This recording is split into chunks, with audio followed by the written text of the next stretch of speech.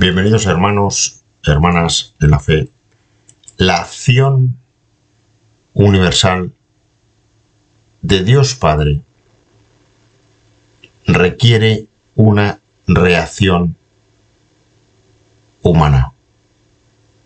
Y esto nuestro Señor Jesucristo nos lo explica muy bien en este pasaje del Evangelio de San Mateo, que es ayes sobre las ciudades impenitentes.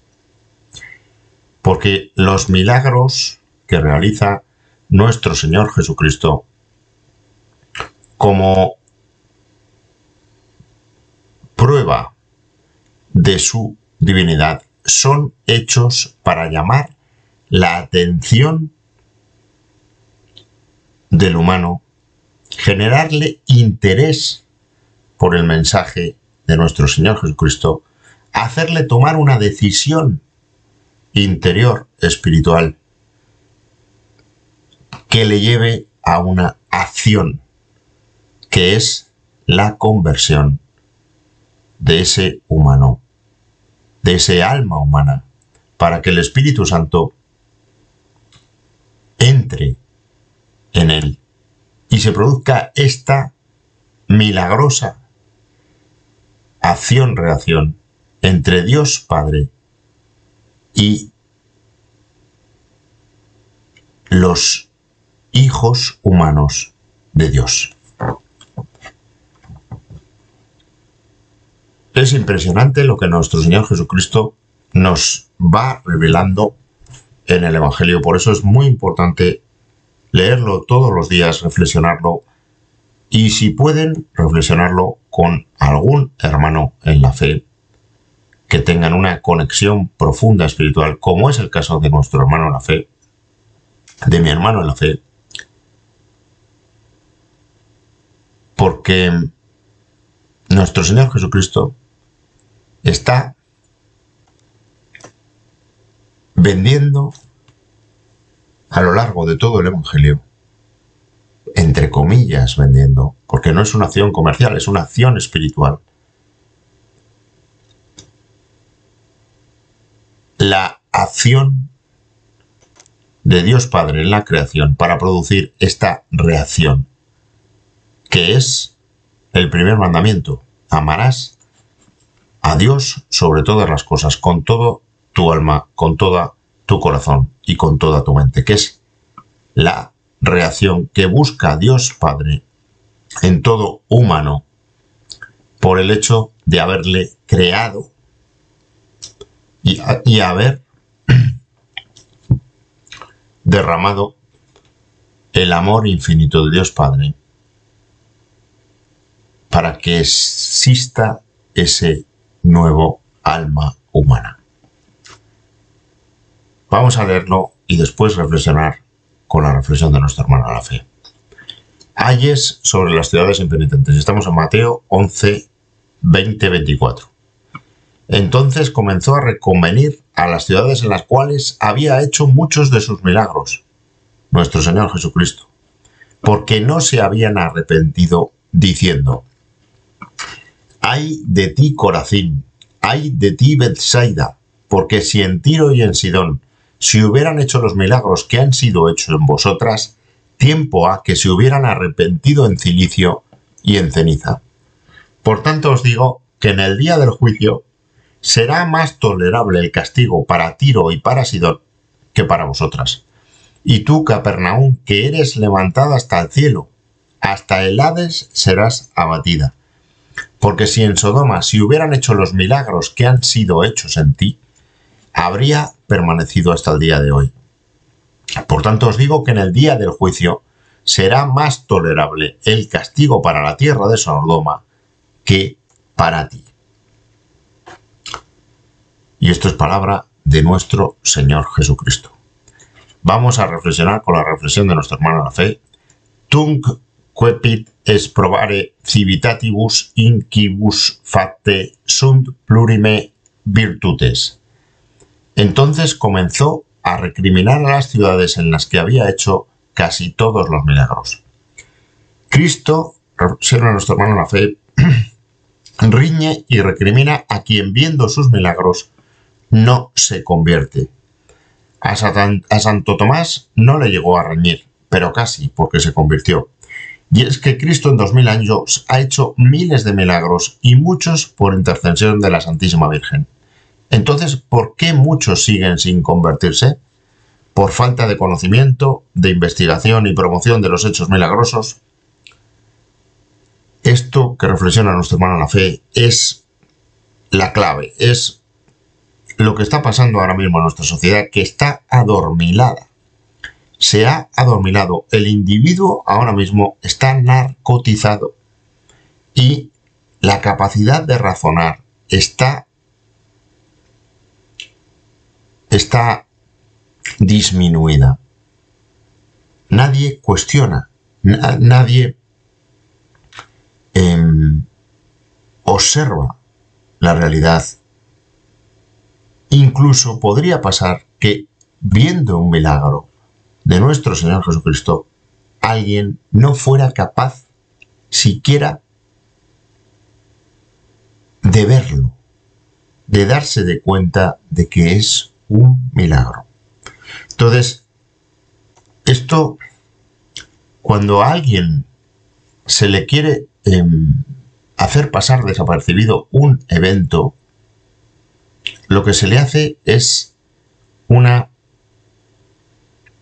una estimulación masiva de los sentidos para que no pueda darse cuenta de ese evento. Si ese evento es visual, lo que se hace es estimular el sentido de la visión de tal manera de que tenga muchas, muchas muchos estímulos visuales, de tal manera que el, sujeto no se dé cuenta de cuándo aparece el estímulo, el hecho importante, el hecho que se quiere, el hecho que se quiere ocultar. Esto es lo que está pasando ahora mismo. Y es lo que eh, nuestro Señor Jesucristo le recrimina a las ciudades impenitentes, que no han prestado atención, lo primero, a los milagros que no han tenido interés en esos milagros y que no han tomado una decisión en función de ese interés y esa llamada de atención que les lleve a la acción de convertirse. Este proceso que nos describe nuestro Señor Jesucristo a lo largo de todo el Evangelio, ahora mismo está cercenado desde el primer paso del proceso, que es la atención. Fíjense que se han inundado todo el más media de todo tipo de dioses, de todo tipo de semidioses, de todo tipo de mm, mm, paganismo, para que el humano no, no sepa qué es Dios? ¿Qué es Dios creador? ¿Qué es Dios Padre? Que si Thor, que si em, Capitán América, que si eh, Hulk, que si em, eh, Zeus, que si, en fin, todo tipo de super, Superman, eh, superhéroes, semidioses, dioses, que sobreestimulan todos los sentidos para confundir y no generar la atención en el evento importante. Esto es lo que reflexiona nuestro hermano en la fe. Si los medios de comunicación dieran noticias y programas especiales sobre cada milagro que se produce, habría olas de conversiones en masa.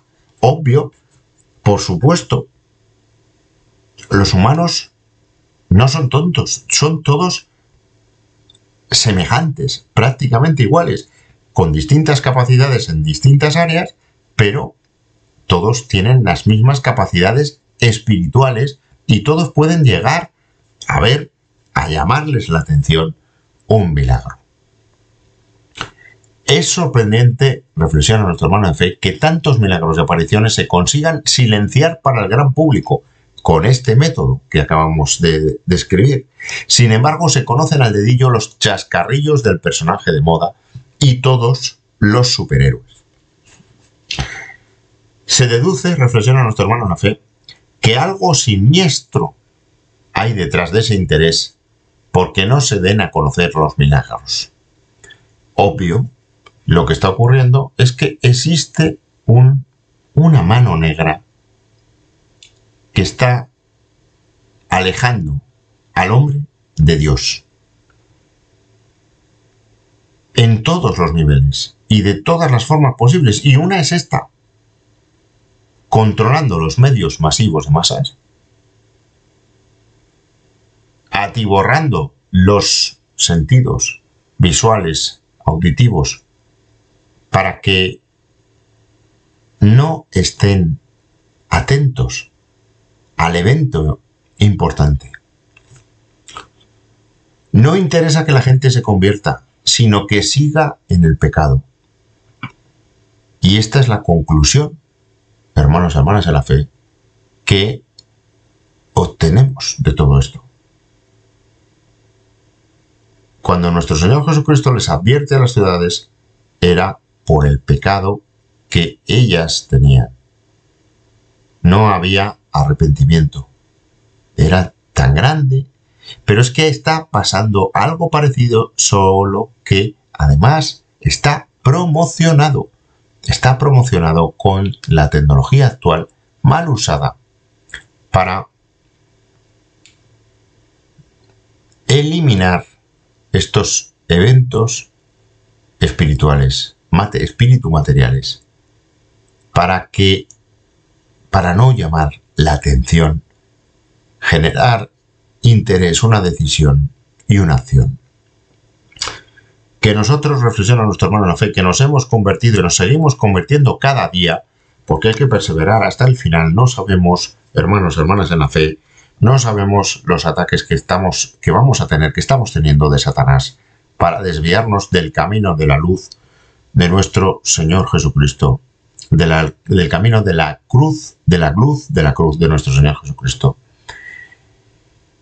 Y por eso tenemos que ser humildes y perseverantes para poder dar, ser, como reflexiona nuestro hermano en la fe, un testimonio de los milagros de Cristo que el mundo intenta ocultar. Amén. Tenemos que formar parte de ese proceso que nos describe nuestro Señor Jesucristo a lo largo del Evangelio, que cualquier vendedor conoce perfectamente, que es llamar la atención, generar interés, tomar una decisión, hacer tomar una decisión y llevarle a la acción.